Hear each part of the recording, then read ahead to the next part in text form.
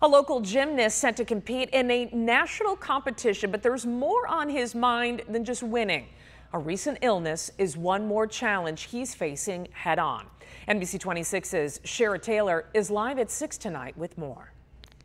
16-year-old Evan Van Aken of Oshkosh has just qualified for the 2017 USA Gymnastics Junior Olympic Nationals. But outside of the sport, he's facing a greater battle, cancer. At first, I kind of thought like, oh great, my season's over. But as soon as I came back here, they all encouraged me and pushed me to get back. Evan started gymnastics at the Oshkosh Gymnastics Center when he was just three years old. In 2011, he joined the Swiss Turners Gymnastic Academy in West Allis. The days that I haven't been here have been really like lonely because they're like my family. So every time I come in here, it just makes me a lot happier. Life changed for Evan in January when doctors made a shocking discovery. The pain he felt from a large mass was testicular cancer. He had surgery but later found the cancer spread. The feeling was terrible. I didn't know like what to think.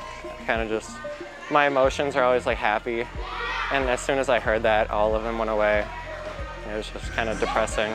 Evan's coach Ben Jacobs of Milwaukee says it was truly remarkable he was able to achieve such levels because Evan is battling cancer. The entire stadium stood up and then all the competitors stood up and just applauded for like three minutes straight.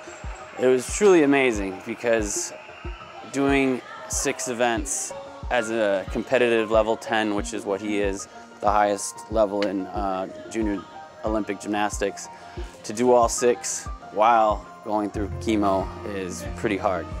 Evan's father says at the age of 15, when Evan was diagnosed, he wasn't doing self examinations, not typical for a teen. Now the family wants to spread awareness. Just for men, make sure that you check yourself. It's really, obviously, very important, and the sooner you can do it, the better. Cancer hasn't stopped Evan. He feels most at home in the gym. I just want to do really well.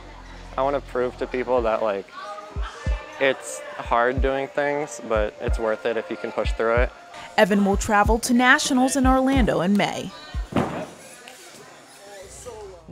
This Truly week, remarkable. Yeah, this week Evan is having chemotherapy Monday through Friday for three hours. His coach expects him to return next week. All right. So he, he is truly inspirational, isn't he? Mm-hmm. Yes, I spoke with him over the phone and he's a really great guy and I, I wish the best for him. We're all rooting for him. Mm-hmm. And you probably